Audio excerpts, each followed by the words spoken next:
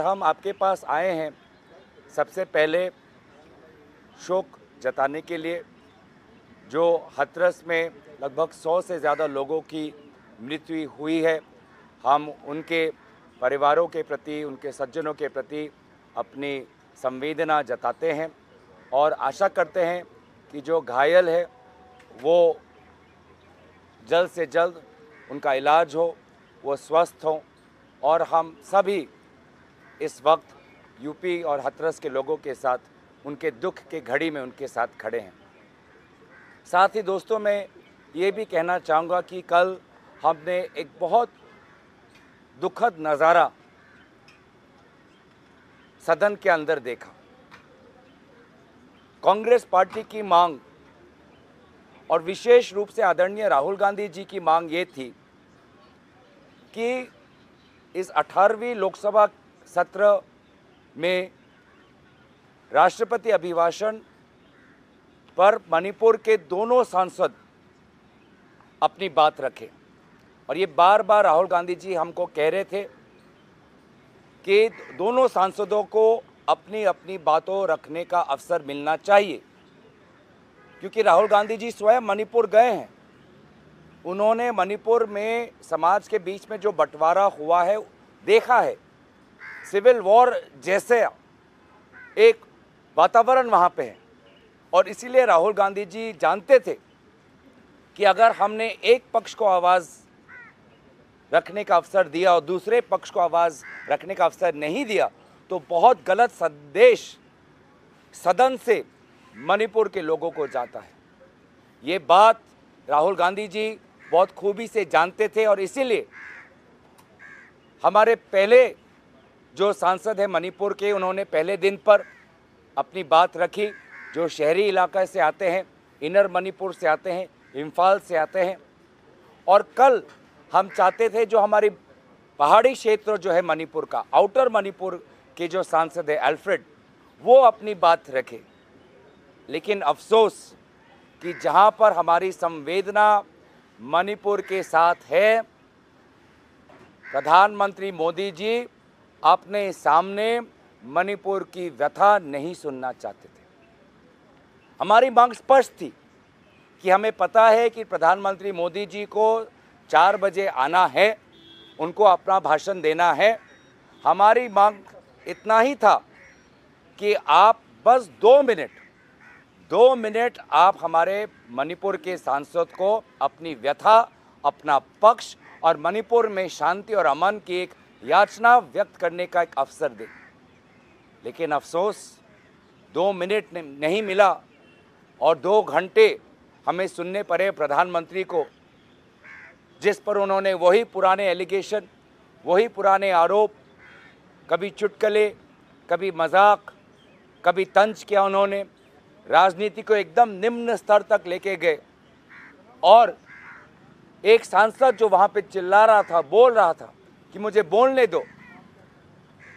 उनकी बात सुनने का धैर्य उनके पास नहीं था। सहानुभूति नहीं थी। दिल में जगह नहीं थी। और इसीलिए उस क्षण में हमारे उत्तर पूर्वांचल के सांसद, आपने देखा होगा कि उत्तर पूर्वांचल के सभी सांसद हम वेल में आ गए। मणिपुर के दो सांसद आए, मैं उनके साथ आया, फिर मेरे साथ नागालैंड के सांसद आए, मेरे साथ फिर मेघालय के सांसद आए और हम सभी ने एक दूसरे का हाथ पकड़कर हमने इंसाफ की गुजार लगाई। हमने इंसाफ की गुजारिश की, न्याय की गुजारिश की। मणिपुर को न्याय दो, मणिपुर की आवाज़ सुनो। हम जो उत्तर पूर्वांचल के सारे सांसद, हम आ गए और उसके पश्चात मैं धन्यवाद करना चाहूँगा कि हमारे इंडिया अलायंस के सांसद देश के हर कोने से, उत्तर से लेके पश्चिम तक, पश्चिम से लेके दक्षिण तक देश के हर कोने का इंडिया अलायंस का सांसद, उत्तर पूर्वांचल के सांसदों के समर्थन में सब हम वेल में आके हम सभी ने नारा लगाया। मणिपुर भारत का एक हिस्सा है। मणिपुर में आज आग लगी हुई है। मणिपुर को न्याय दो, मणिपुर को इंसाफ दो। दो घंटे प्रधानमंत्री मोदी जी ने अपनी भाषण रखी, लेकिन एक बार भी मणिपुर का बात उन्होंने नहीं उठाया। अंत में बस उतना ही कहा कि अगर आपको समय नहीं मिला तो आपको पार्टी को पूछना चाहिए। हम पार्टी से क्यों पूछे? हम उनसे क्यों नहीं पूछे? क्या यह प्रधानमंत्री मोदी जी का बड़प्पन नहीं होता कि अगर वो बैठ जाते? अगर वो एक विरोधी सांसद को पानी का ग्लास दे सकते हैं तो एक विरोधी सांसद जो मणिपुर से आता है, उसकी दो मिनट की बात सुनने का धैर्य क्यों नहीं है उनके पास? बैठ जाते और मैं कहता हूँ कि अगर वो बैठते, बड़प्पन दिखाते और मणिपुर के सांसद को दो मिनट अपनी बात रखने देते तो एक बहुत अच्छा संदेश प्रधानमंत्री की तरफ़ से आज उत्तर पूर्वांचल को जाता, मणिपुर को जाता। तो मुझे लगता है कि प्रधानमंत्री मोदी जी सुनिश्चित यो, सोच से, योजना से मणिपुर को बार बार अपना पीठ दिखा रहे हैं। मोहन भागवत जी ने भी मणिपुर का नाम अर्ज़ किया। लेकिन मोहन भागवत जी की बात भी कल प्रधानमंत्री मोदी जी ने नहीं मानी। बड़प्पन नहीं दिखा पाए।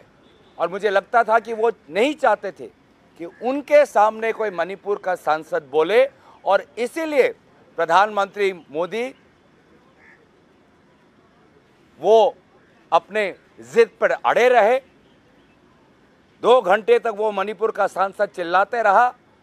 और मणि प्रधानमंत्री मोदी जी ने विभिन्न प्रकार के राजनीतिक आरोप और निम्न स्तर की राजनीतिक भाषा का प्रयोग किया। मुझे लगता है कि कल हमने एक ऐतिहासिक मौका हमने गवाया जब पूरा देश हम मणिपुर को एक संदेश देना चाहते हैं, चाहते थे। मैं दोबारा आभार प्रकट करता हूँ राहुल गांधी जी का, जो पहले दिन से संवेदनशील थे, पहले दिन से वो चाहते थे कि दोनों अपना पक्ष रखें। वो स्वयं खड़े होकर वो अध्यक्ष महोदय को गुजारिश कर रहे थे कि दोनों को अपना पक्ष रखने दे। और फिर मैं उत्तर पूर्वांचल के सांसदों को, जो सब पहले वेल में आए, और उसके पश्चात जो हमारे विभिन्न हमारे देश के सांसद जो आए और मणिपुर का हमने साथ दिया, मैं सबको आभार प्रकट करता हूँ। क्योंकि हमने इंडिया अलायंस ने, हमने एक संदेश दिया कि मणिपुर भारत का अंग है। और मणिपुर में जो अत्याचार हुआ है, महिलाओं पर, युवाओं पर, छात्रों पर, बुज़ुर्गों पर, वो उन अत्याचारों को हम भूले नहीं हैं और उनके हक की लड़ाई हम लड़ते रहेंगे। मैं बस इतना ही बात कहना चाहता था कि प्रधानमंत्री मोदी जी ने कल बहुत ही एक निष्ठुर व्यवहार मणिपुर के प्रति दिखाया और बहुत अपने जिद पर अड़े रहे, जिसके कारण एक ऐसा वातावरण हुआ।